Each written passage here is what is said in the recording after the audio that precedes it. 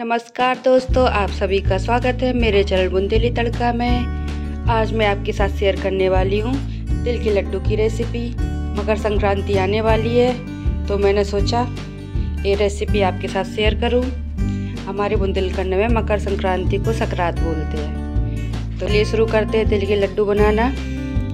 तो यहाँ पर मैंने एक पाव तिल लिए है, वाइट तिल 200 ग्राम है गुड़, दो चम्मच घी और कुछ ड्राई फ्रूट्स है। तो चलिए अब हम बनाना शुरू करते हैं।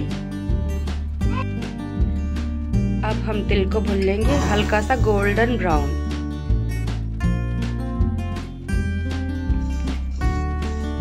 तिल को हम चलाते रहेंगे ऐसे कढ़ाई में। अगर चलाएँगे नहीं तो तिल लग जाएगा और जल जाएगा नीचे। धीमी आँच पे इनको भुनना है।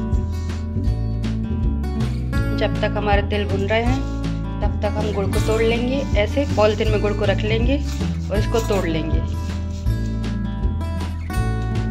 गुड़ तोड़ने का ये सबसे आसान तरीका है। ना तो गुड़ चिपकता है और अच्छी तरह से बारीक कुट जाता है गुड़। तिल हमारे भुन चुके हैं, एकदम गोल्डन ब्राउन हो गए अब हम इसको थाली में निकाल लेंगे।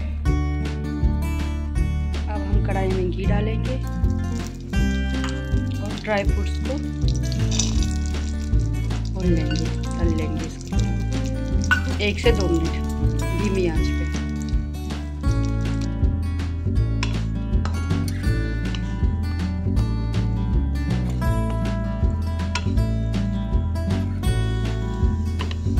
किसमिस, देखिए, फूलने लगी हैं, हमें इनको इतना ही भूनना है। बचे घी में अब एक गुड़ डाल देंगे और इसका पाक बना लेंगे।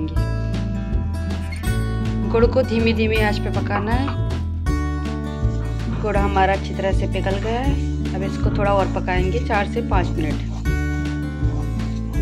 इसके बाद इसको चेक करेंगे, ये हुआ है कि नहीं हुआ, लड्डू बनने लायक। चाशनी को ऐसे चलाते रहना है। अगर चलाएँगे नहीं तो चिपक जाएगी और जल जाएगी। चेक कर लेते हुआ है कि नहीं हुआ है। ये देखिए।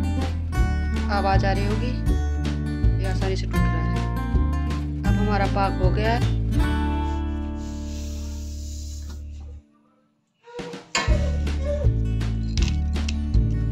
अच्छे से मिक्स कर लेंगे अब इनको।